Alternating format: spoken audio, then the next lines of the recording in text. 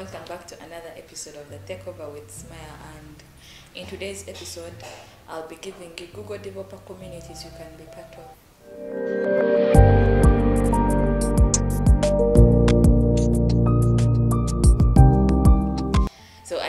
Chance of being part of one of the Google developer communities, and it was really something that changed my life. I benefited a lot, and I felt that it would be something good if I shared these communities with you. Maybe they would also change the same way they changed me. The community that I was part of is the Google Developer Student Clubs, and uh, I made an episode about it. So feel free to check through my previous episode so that you can watch what I said about it.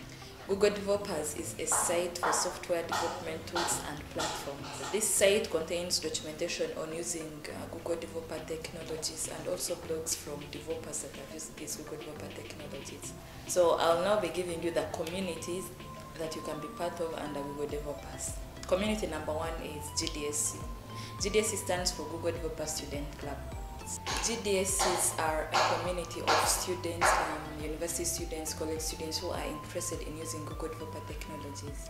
Once you join these clubs, then be ready to grow your knowledge in a peer-to-peer learning environment. Be ready to learn, be ready to network, and it will really benefit you as a developer. I've dropped the link to the Google Developer Community website in the description. Feel free to check it out and join any GDSC around. The second community you can be part of under Google Developers is the Google Developer Groups.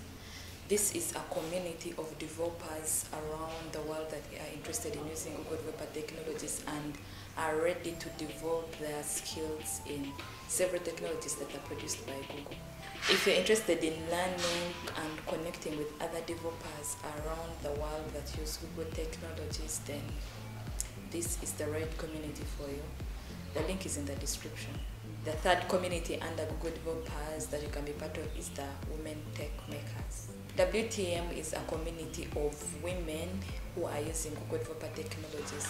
These are women who want to put an impact in their community through technology. You can be part of any WTM community in your country, in your district, just by clicking the link I've dropped in the description, and you'll be able to see the WTM communities in your area. Then you'll choose to join whichever community you feel like joining. The very last community you can be part of under Google Developers is the GDE. GDE stands for Google Developer Experts.